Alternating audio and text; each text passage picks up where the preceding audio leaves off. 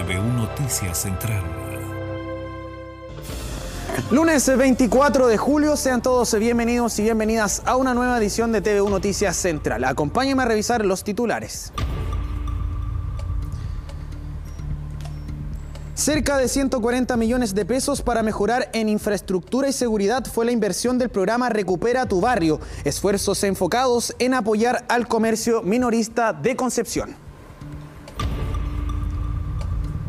Comunas afectadas por los incendios forestales buscan salir de la crisis económica que se produjo por la acción del fuego el pasado verano. En Quillón y Mulchen, la reconstrucción busca consolidarse y avanzar en todas las áreas. Acompañamos a los usuarios y usuarias que utilizan el transporte público nocturno de Concepción. Se denuncian retrasos en la llegada de buses que la ciudadanía espera que cambien en el corto plazo.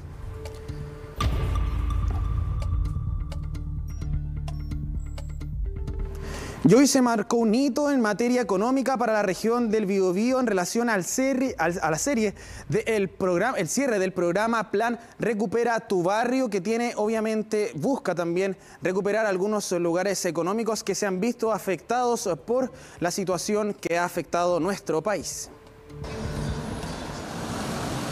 Son cerca de 40 las galerías históricas del centro penquista que cada invierno se transforman en un lugar de resguardo ante las continuas precipitaciones. Estructuras que han tenido sus momentos altos y bajos, como el estallido social, la pandemia, el confinamiento y la crisis económica. La ciudadanía espera que este comercio no desaparezca. Me parecería bien porque de verdad aquí uno, digamos, es un, lugar donde prácticamente cuando hay lluvia lo que más uno se mete en la galería que cuando usted entra a una casa comercial, lo primero que mira cómo lo atiende. Porque como se dice, si usted lo atienden bien, vuelve. Y si no, de lo contrario, hay que retirarse y ir a otra parte. No, es mejor aquí. La otra cuestión que... No, aquí hay de todo.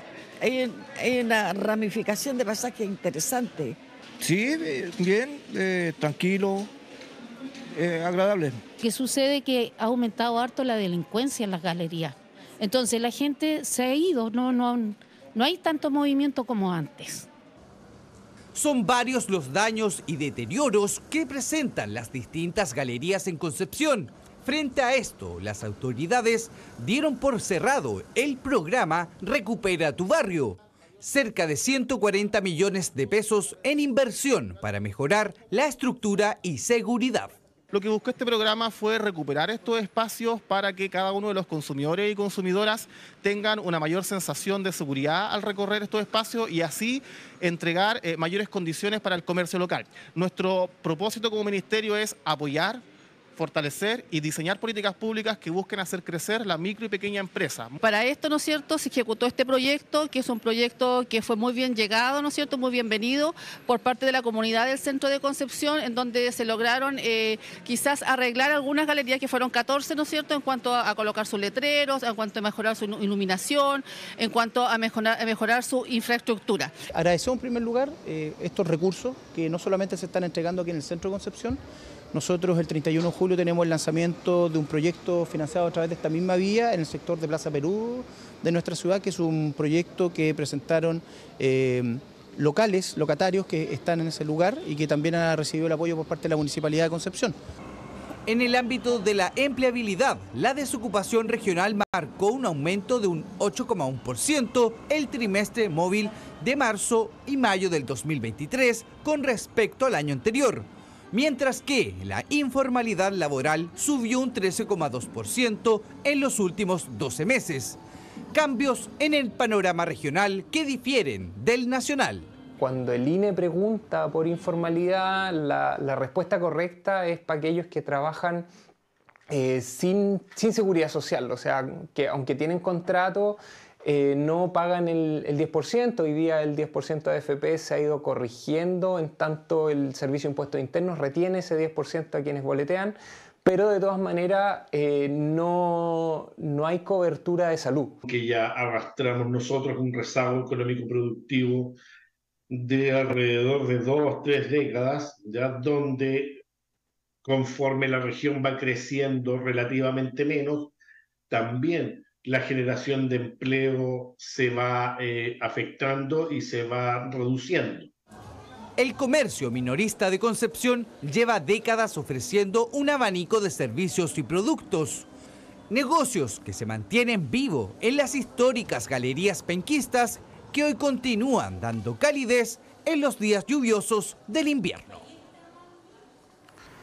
Y desde el plano internacional se han anunciado ayuda para el proceso de reconstrucción que atraviesa nuestra región. Se busca crecimiento económico, reducir el impacto de las pérdidas, pero también planificaciones de crecimiento generalizado para el futuro de las comunas afectadas.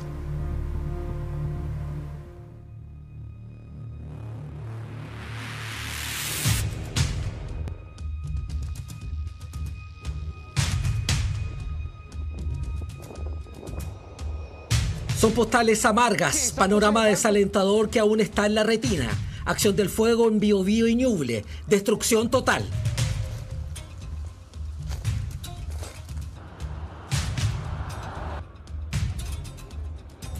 Más de 400.000 hectáreas se vieron dañadas. Cerca de 185.000 correspondieron a la región del Biobío. Las economías locales sufrieron retrocesos de proporciones.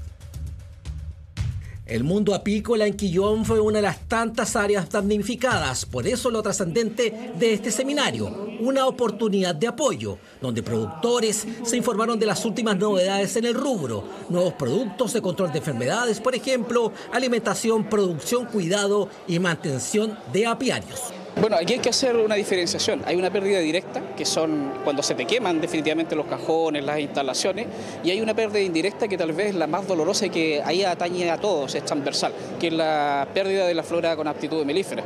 Y ese es un tema que cuesta años recuperar. Y eso también está en la institucionalidad, ¿cierto?, acá eh, para apoyar en, el fomento de aquello. El seminario en sí es, un ente que aporta, pero también nuestros técnicos en sí van, entregando su conocimiento hacia los apicultores. Esa es la idea en definitiva, cómo nosotros podemos aportar, como aparte de la municipalidad, con todas las herramientas que nosotros tenemos para que esta rubro también siga siendo fortalecido durante el tiempo. La actividad fue organizada por la Oficina de Desarrollo Económico y Local de Quillón. Mientras todo esto se efectuaba, en este encuentro en la Embajada Checa se da un paso más en el Fondo de Reconstrucción para ayudar precisamente a las regiones afectadas por los incendios forestales ocurridos a principios del 2023. República Checa anunció la entrega de recursos para la reposición y equipamiento de rutas educativas en Mulchen. Las características de este fondo es que ofrecen oportunidades de donación a proyectos específicos. Es decir, no es una donación a un fondo general, eh, sino que a proyectos específicos que son eh, seleccionados de antemano y a los cuales pues, se puede aportar ya, sea a través de en dinero, eh, se puede aportar en obras o en especie. y está abierto tanto donantes chilenos como extranjeros. En el caso de los donantes chilenos tienen además una serie de ventajas tributarias que ayudan a estimular o incentivar esas donaciones. No nos contaba el propio embajador de aquello que ocurría, había ocurrido en su propio país, ¿no? Entonces hoy día, primero, esta muestra de solidaridad lo que hace es que estrecha los lazos entre ambos países, eso es lo primero. Lo segundo es que gracias a este fondo de reconstrucción ideado y liderado por el ministro Marcel nos permite poder hacer una donación concreta y eh, restituir un espacio que lo entendemos no solo educativo, sino también de carácter comunitario.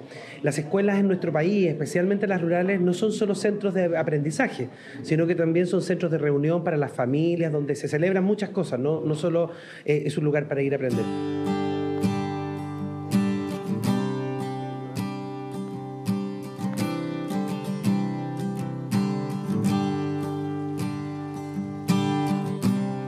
planes, iniciativas, todo para consolidar avances en reconstrucción. Se vienen meses claves, por ejemplo, en turismo, un área determinante para activar económicamente, ganar, salir adelante luego de todo lo perdido.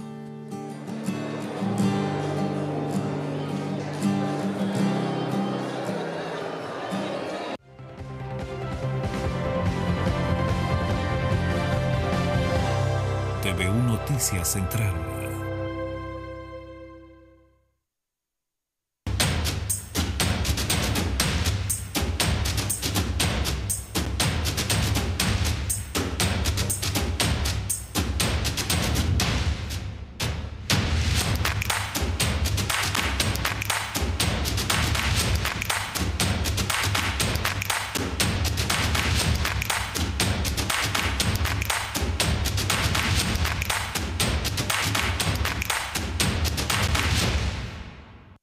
Este 29 de julio finaliza el plazo para solicitar el cambio de tu domicilio electoral. Revisa que tus datos estén correctos para que se te pueda asignar un local de votación cercano para el plebiscito constitucional de diciembre, que será con voto obligatorio. Infórmate en cervel.cl o llamando al 606.166. Servicio Electoral de Chile, Cervel. En Mundo ya somos un millón de clientes y fruto de los constantes esfuerzos por mejorar es que hemos sido premiados nacional e internacionalmente. UCLA y Nos reconocen como la Internet fibra más estable y más rápida de Latinoamérica. Y gracias a nuestro compromiso contigo, nos entregaste el premio a la lealtad del consumidor de Alco. Por ti, por ser más. Mundo, tecnología al alcance de todos.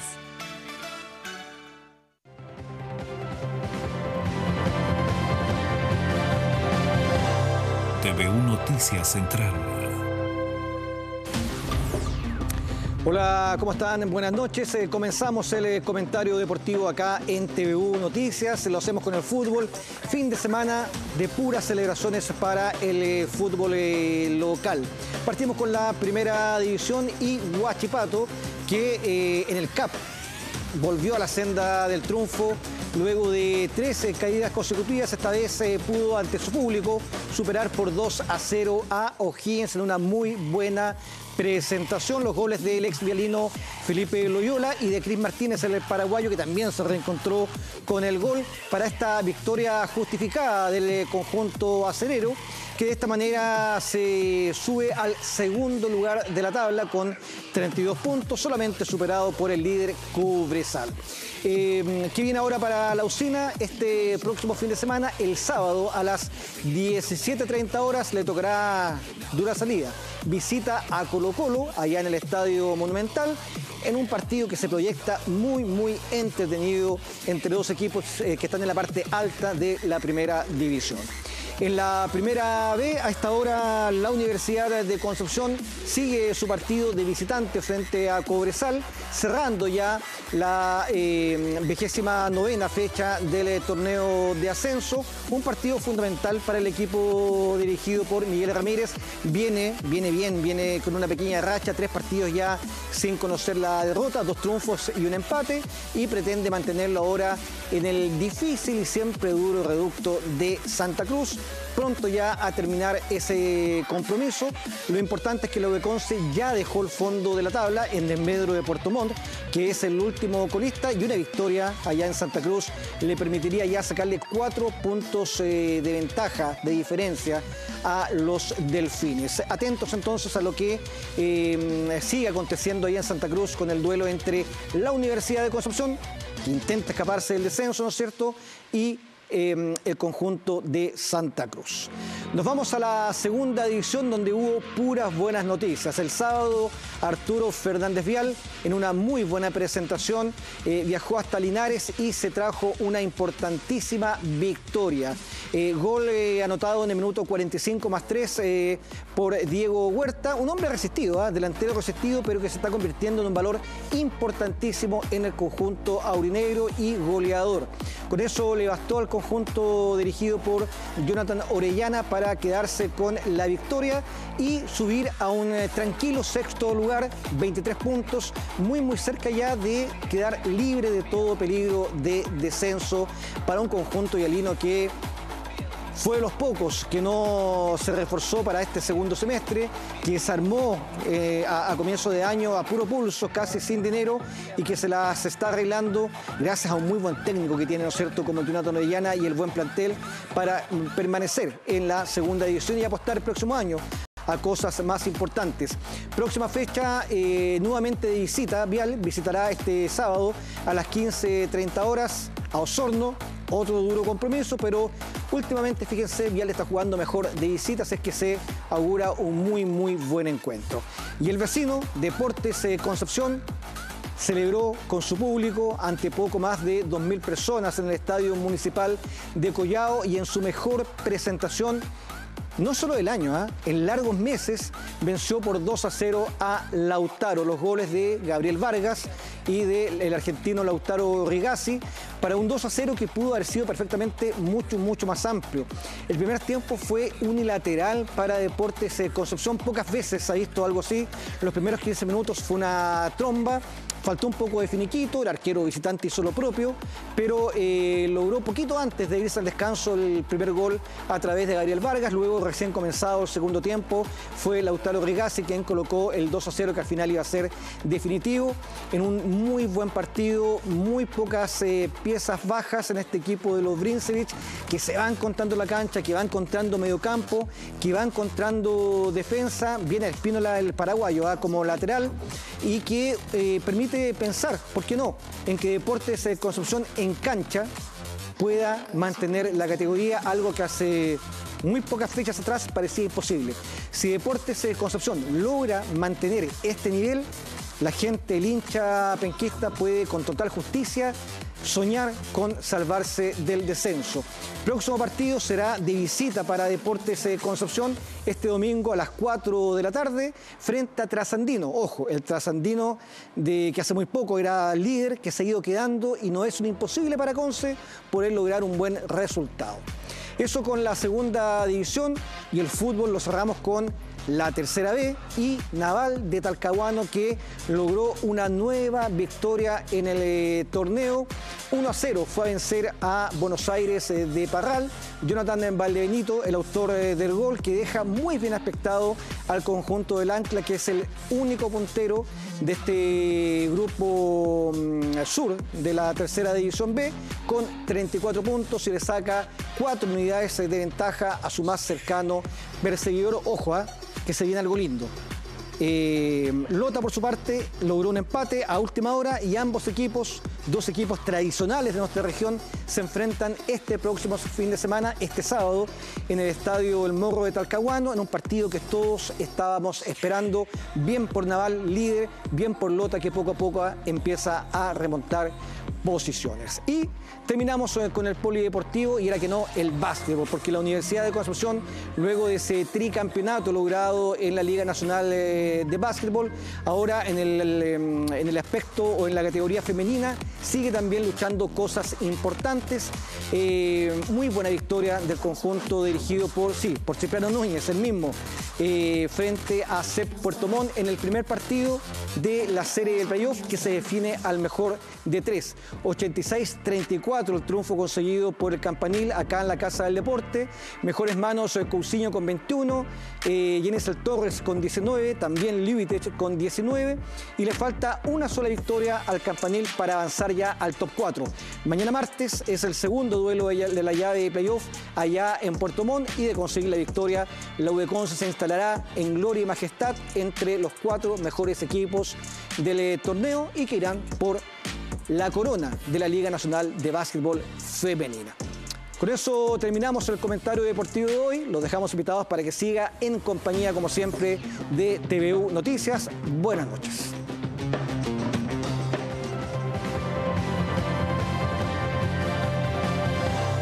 TVU Noticias Central. Apúrate, este 29 de julio finaliza el plazo para solicitar el cambio de tu domicilio electoral. Revisa que tus datos estén correctos para que se te pueda asignar un local de votación cercano para el plebiscito constitucional de diciembre, que será con voto obligatorio. Infórmate en cervel.cl o llamando al 606.166. Servicio Electoral de Chile, Cervel.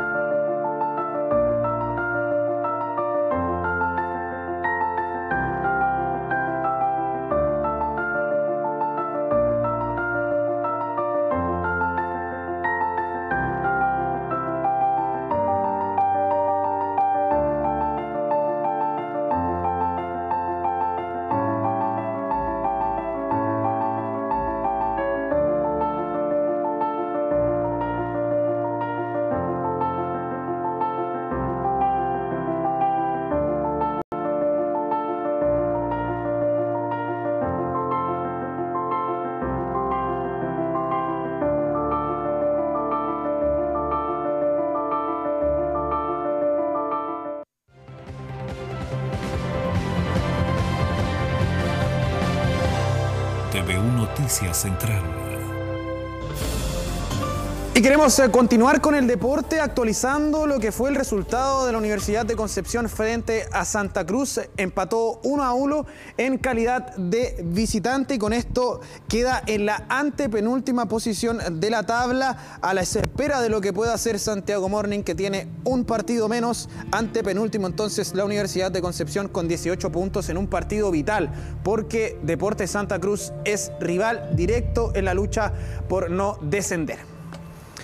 Y queremos eh, continuar también eh, con el deporte porque se terminó la gira tanto del vóley masculino como del vóley femenino por nuestro país. Desafíos a futuro, por ejemplo, en el vóley masculino deberán viajar este 28 de julio a Qatar para enfrentarse a Túnez, eh, encuentro válido por la Challenger Cup. Un encuentro que ha sido de mucho, al menos, acercamiento para las personas eh, que pudieron llegar, por ejemplo, hasta el Polideportivo de Los Ángeles, hasta la Casa del Deporte, donde hubo transmisión y producción también de nuestro canal. Estuvimos ahí junto a los y las deportistas y lo importante también de la descentralización de este tipo de disciplinas, porque no solo hay fútbol, no solo hay básquet, sino que también diferentes disciplinas asociadas al deporte y que nosotros también vamos a poder ver a esta selección, por ejemplo, en los Panamericanos 2000 2023, el cupo que lograron tras clasificarse eh, ganándole a Argentina en aquella final donde estaban perdiendo, pero lograron dar vuelta el resultado, así que lo importante es poder acercar a diferentes disciplinas y el mundo del deporte a la gente para que también pueda conocer eh, que existen diferentes deportistas que están sacando la cara por nuestro país. Pasemos a escuchar entonces las declaraciones acerca del término de esta gira. Sí, la verdad es que estamos muy contentos de haber cerrado la gira acá en Los Ángeles, en este tremendo estadio, colmado de gente y habiendo ganado 3 a 0 categóricamente. Sí, no escuchar un poco se acabó la gira, para nosotros fueron 10 días intensos, donde en 10 días jugamos 9 partidos. Hoy mismo viajamos en bus desde Puerto Montt hasta acá a Los Ángeles, hoy en la mañana, llegamos al hotel, almorzamos y aquí estamos el partido. Osorno, porque Osorno es Vasco es básquet. Y lograron hacer los orificios, el alcalde se la jugó, hizo una apuesta, dijo, con 2.000 yo me quedo. 4.500 personas llenas, la gente parada, una organización impecable. Fuimos por un día. Eh, por lo tanto, eso es lo que más me... Estoy contento. El alcalde me llama todos los días ahora porque quiere llegar las mujeres.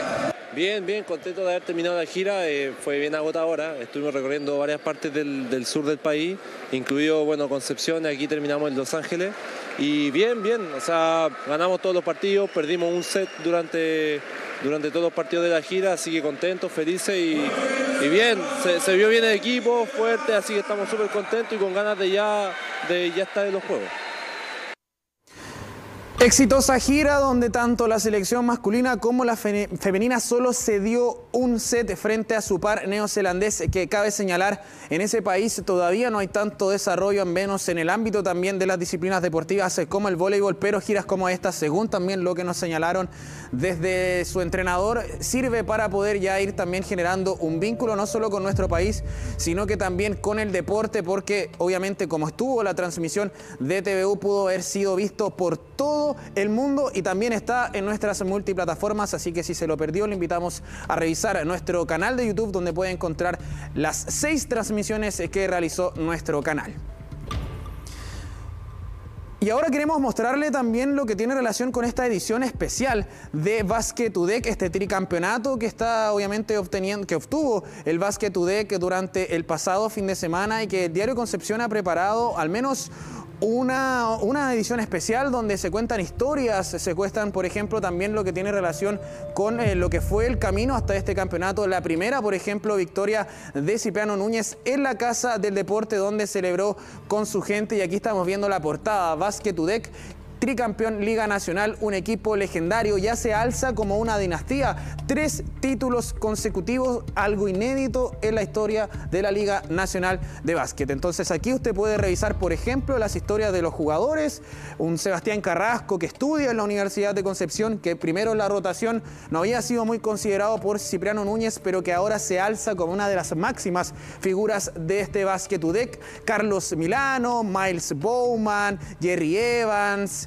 Eugenio Luzcando, Kevin Rubio, bueno, todas las historias de lo que fueron estos tres campeonatos se la puede encontrar en la edición especial de Diario Concepción acerca de Basket UDEC y estos tres tricampeonatos, estos tres campeonatos consecutivos y que también le sirve para un pasaje directo a la Basketball Champions League Américas, es decir, por tercer año consecutivo tendremos torneo internacional acá, en la Casa del Deporte. Y ahora le invitamos a revisar el siguiente extracto de la entrevista que realizamos con Marcela Ríos, ex ministra de Justicia, justo después de dejar su cargo, donde se abordó diferentes temáticas, eh, como por ejemplo el contexto político tras los 50 años del golpe de Estado. Pasemos a revisar. Gracias por estar con nosotros. Ya se encuentra en estudios. Vamos a pasar directamente a la entrevista. Marcela Río, socióloga, ex ministra de Justicia, está de paso acá en la región del Biobío y se dio un paso para estar con nosotros acá en los medios SUDEC, en particular en TVU. Eh, Marcela, gracias por estar con nosotros. No, gracias por la invitación. Lo primero, vamos avanzando. Eh, usted fue ex ministra de Justicia, es socióloga. Estamos a puertas de conmemorar 50 años del golpe del Estado. ¿Cuánto se ha ido avanzando en ese sentido, en políticas de acercamiento, en políticas de reparación, pongo como contexto el plan de búsqueda de detenidos desaparecidos. Bueno, yo creo que como sociedad tenemos una enorme deuda, a pesar de los avances que hemos tenido en materia de verdad, y recordemos, eh, el presidente Elwin con el informe Rating, el presidente Lagos convocó al informe Valech para poder constatar lo que habían sido las violaciones masivas de derechos humanos, eh, y se ha avanzado algo, digamos, en reparación, pero de los detenidos desaparecidos tenemos, por ejemplo, más de 1.100 eh, víctimas que no han sido identificadas, que sus familias no saben dónde fueron asesinadas, dónde están sus cuerpos. Eh, ahí hay un, un dolor permanente de esas familias. ¿Por qué en pleno 2023 estamos a puerta de conmemorar 50 años del golpe? Esto todavía no está siendo, no, ha sido resuelto y hay gente eh, del ámbito cívico, militar, que aún no entrega la información valiosa. ¿Por qué? ¿En qué se está fallando?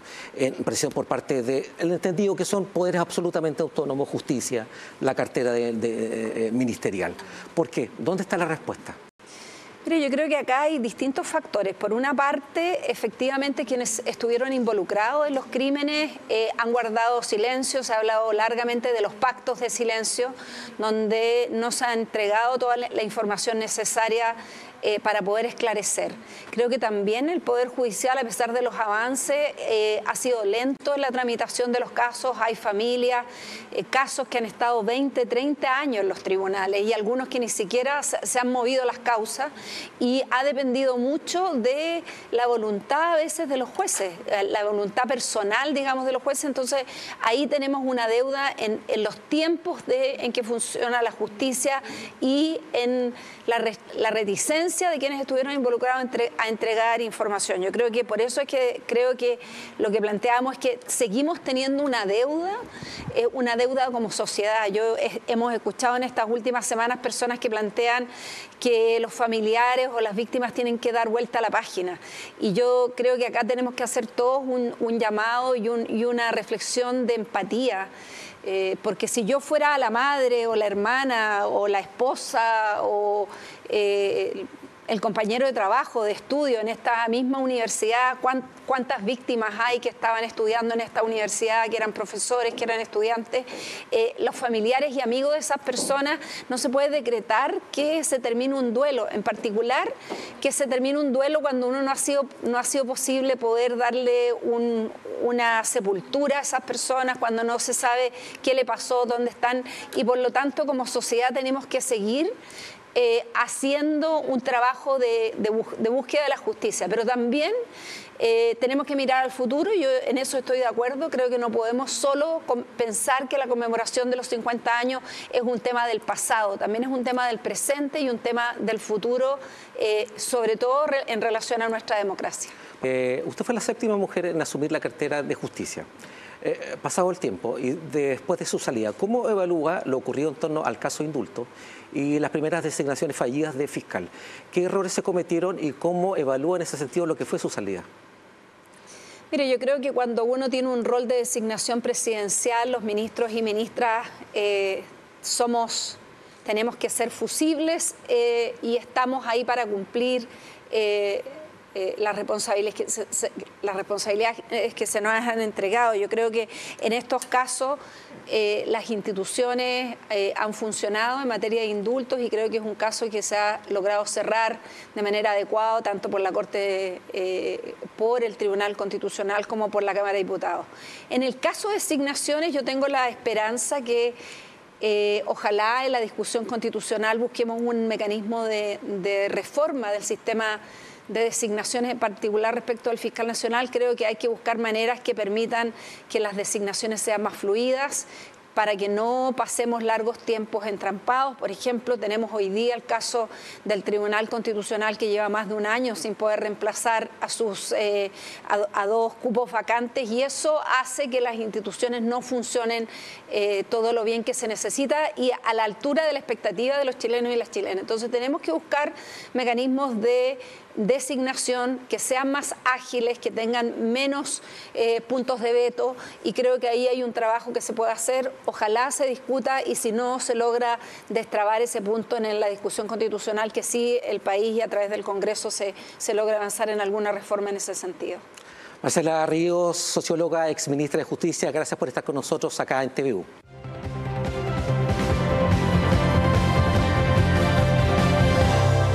Noticias Central.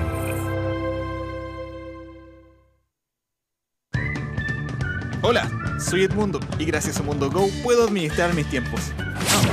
guardar programación y verla cuando yo quiera. Adelantar y retroceder mis programas favoritos. Y repetirlos las veces que quiera. Esto, si esto me el control.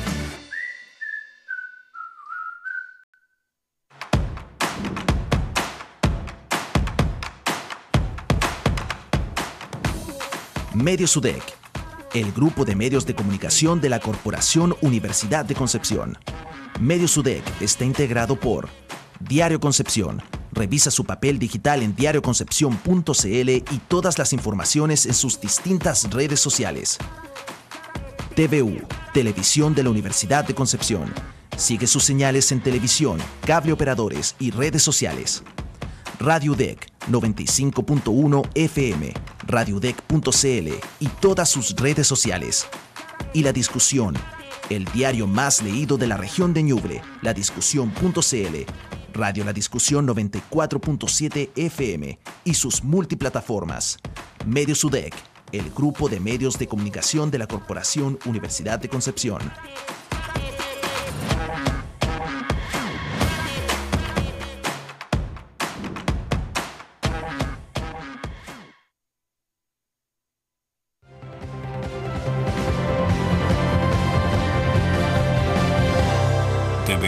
Central. Y regresamos con este informativo central para hablar de una artista local nacida en Tomé y que supo brillar en escenarios de todo tipo. Hablamos de Cecilia, la incomparable. Acompáñeme a revisar su historia.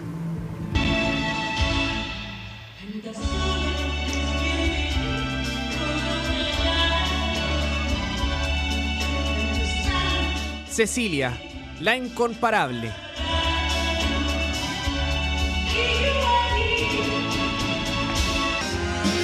Una mujer nacida en Tomé. Supo alzarse como una ídola nacional e internacional y llevar su talento a todo tipo de escenarios.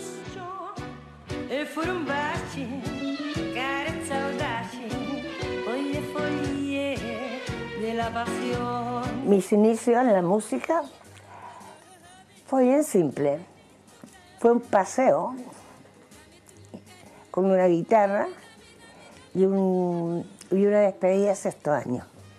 Entonces esa sensación de estar cantando con los chicos, sin que me dijera nadie, ni ver tocar, aprendí la música. Innato, fue todo innato. Estamos hablando de una figura emblemática, eh, protagonista de la nueva ola y que marcó un antes y un después, puede resultar frase hecha, pero es verdad, en la música chilena, a tal punto que sus influencias se ven reflejadas hoy día en músicos locales, en bandas locales.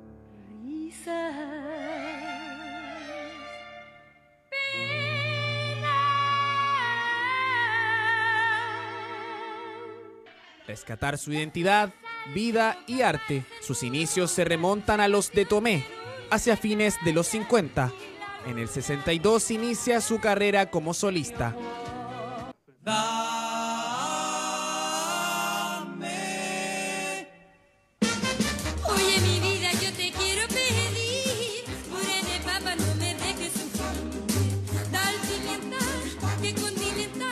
Su arte trasciende documentales, series y qué decir del mundo de las tablas.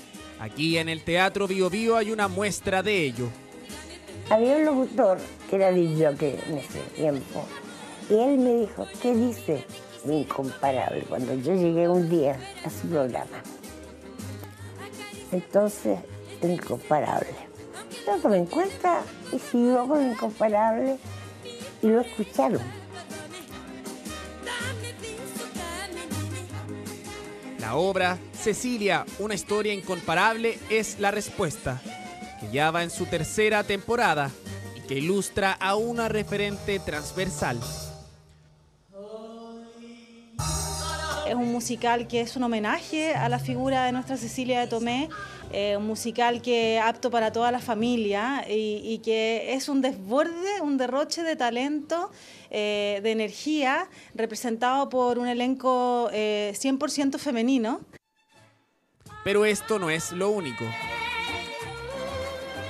Bravura Plateada, Cecilia la Incomparable, es el nombre de la producción audiovisual que se sigue preparando. Bueno, para nosotros es muy importante poder homenajear a Cecilia en vida. Ella es un ícono acá de la comuna de Tomé. Por lo tanto, para nosotros como artistas también es un súper referente. Cecilia y su historia. Más que un artista, un ícono. De Tomé, de la región, de todos, de todas.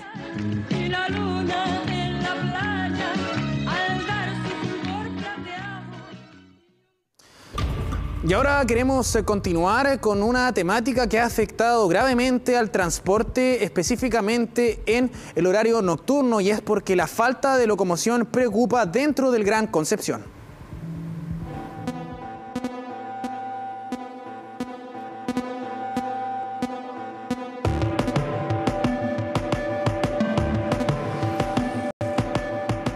Este es el panorama nocturno en los paraderos del Gran Concepción. Tránsito lento que se traduce en tiempos de espera que pueden llegar hasta 20 minutos por un taxibús para llevar a los usuarios a sus lugares de destino. Realidad que hace algunos años era distinta. Antes corrían hasta más tarde. Sí, hace, pucha, hace como cinco años atrás corrían bien, pero ahora el flujo ha disminuido en base a si aumenta el horario. No, poco se ha visto.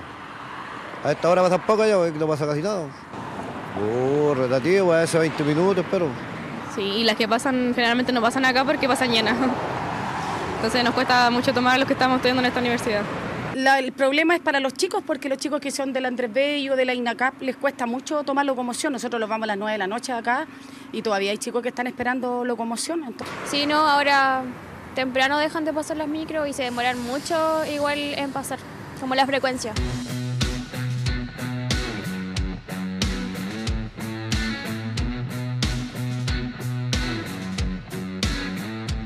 El contexto en marzo fue un gran problema, sumado a los desafíos en conectividad como el desnivel detectado en el puente ferroviario. Son las propias autoridades las que afirman el aumento de frecuencia del transporte público nocturno. En teoría, 200 buses más, circulando por las calles del Gran Concepción.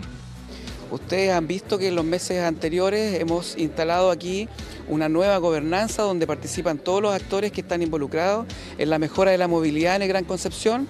Están los distintos ministerios y también está el gobierno regional, la delegación presidencial y ahí estamos discutiendo todos los proyectos que van a mejorar eh, la movilidad aquí en el Gran Concepción. Lo que le puedo decir sí es que nosotros también estamos trabajando con los actuales operadores para mejorar el sistema. Y ya hemos visto que desde marzo hasta esta fecha hay 200 buses que han aumentado la frecuencia y han aumentado también los horarios de los recorridos. Esfuerzos de las autoridades que están enfocadas en mejorar la conectividad al interior de la capital regional, en conjunto con el plan Más Movilidad que suma el proyecto teleférico para los cerros de Talcahuano. Efectivamente, este es un proyecto antiguo en carpeta, pero es un proyecto que es de Estado y por lo tanto eh, este gobierno también ha asumido como propio este proyecto que hace muchos años ya se presentó para que pudiera ser financiado. Y lógicamente que hoy día parta eh, esta, esta, esta, este estudio ya nos permite generar un avance importante con cerca de 700 millones de pesos que se, pueden, que se invirtió por parte del Ministerio de Transporte eh, para poder desarrollarlo y como bien dijo el subsecretario va a estar terminado a fines del 2024. Al sur del río Biobío viven cerca de medio millón de personas que utilizan el transporte público día a día. En Talcahuano son cerca de 40.000 personas las que viven en los cerros. Urgen soluciones a corto plazo en conectividad. De forma paralela, corren los proyectos que buscan dar respuestas sólidas. En largo plazo, ahí juegan un rol trascendente.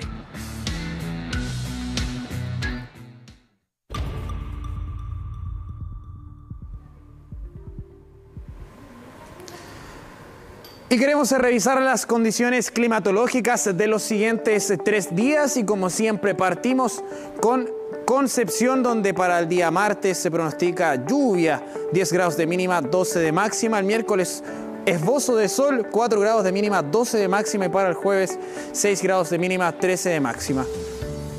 Bajan las temperaturas y no hay lluvia, suben las temperaturas y se manifiestan las precipitaciones en la región del Biobío.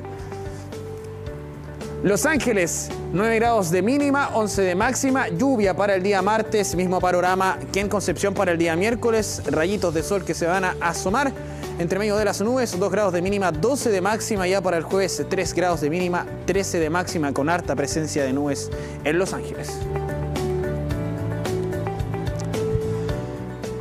Terminamos con Leo, 12 grados de máxima, 10 de mínima para el martes, el miércoles algún esbozo de sol también, 3 grados de mínima, 13 de máxima y para el día jueves completamente nublado, 12 grados de mínima, 5 de máxima.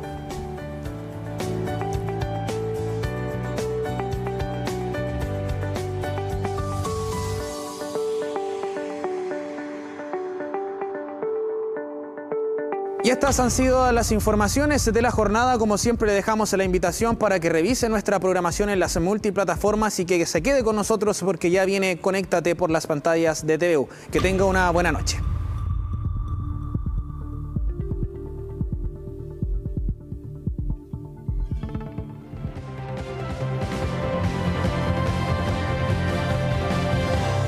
TVU Noticias Central.